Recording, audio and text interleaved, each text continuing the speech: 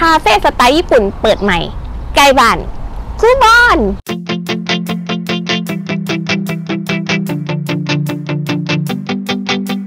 Rinji Bean and Brew Cafe ที่คู้บอน เห็นไหมสไตล์ญี่ปุ่นไหม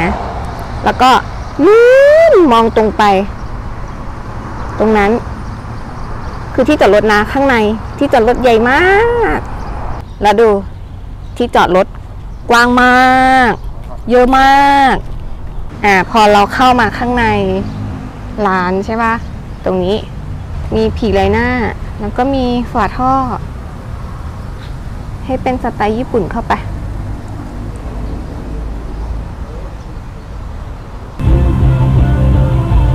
พอเข้ามาข้างในเราก็จะเห็นโซนคาเฟ่อยู่ด้านหน้า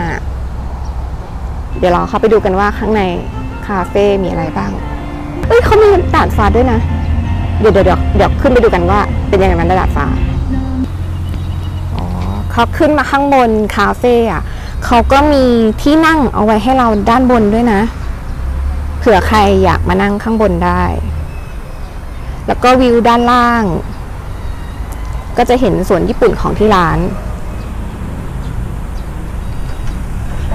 สวยๆ แบบนี้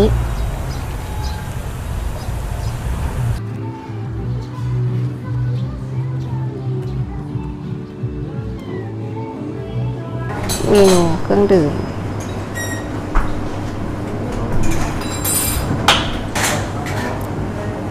ด้านข้างเป็น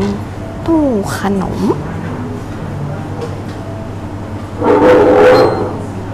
ในโซนคาเฟ่ ถ้าอยู่ข้างในก็จะมองเห็น ส่วนญี่ปุ่นข้างนอกได้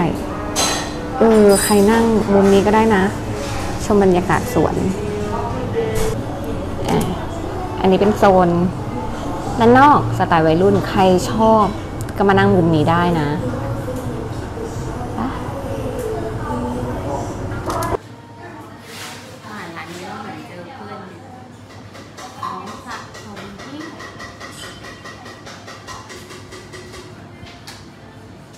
ฝาท่อคูบอนและนี่คือโซนด้านในที่เป็นสวนญี่ปุ่น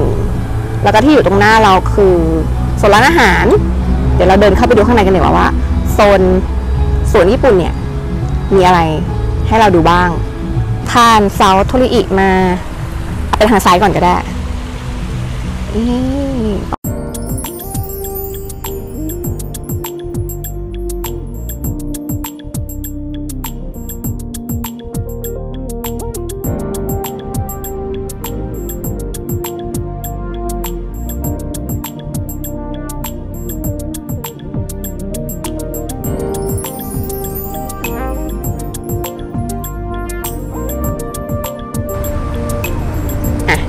เดี๋ยวเดินมาอีกที่หนึ่งฝั่งหนึ่งของร้านอาหาร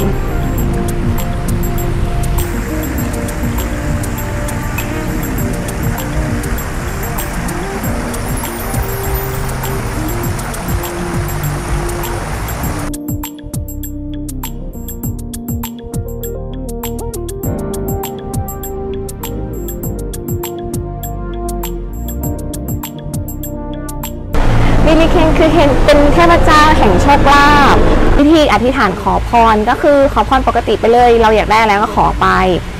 แล้วเราก็เอามือลูบที่เท้าอันนั้นรูปให้ดูรูปที่เท้าเพื่อขอพรเขานะลองมาขอดูนะเดี๋ยวเราจะขอบ้างอันนี้เป็นบรรยากาศในร้านโซนอาหาร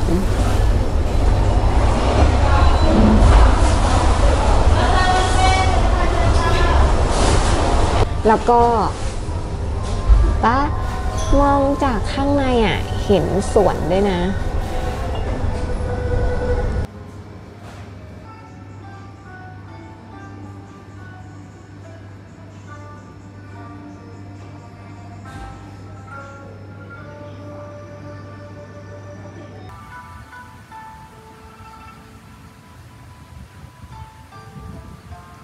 วันนี้ทั้งอิ่มอร่อย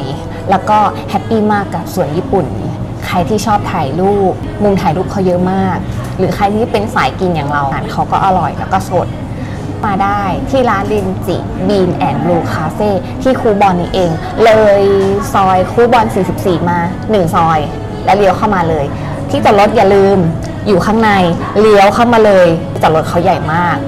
วันนี้ไปแล้วเจอกันคลิปหน้า อย่าลืมกดไลค์ กดแชร์ กด subscribe แล้วกดกระดิ่งจะได้ไม่พลาดทุกความเป็นญี่ปุ่น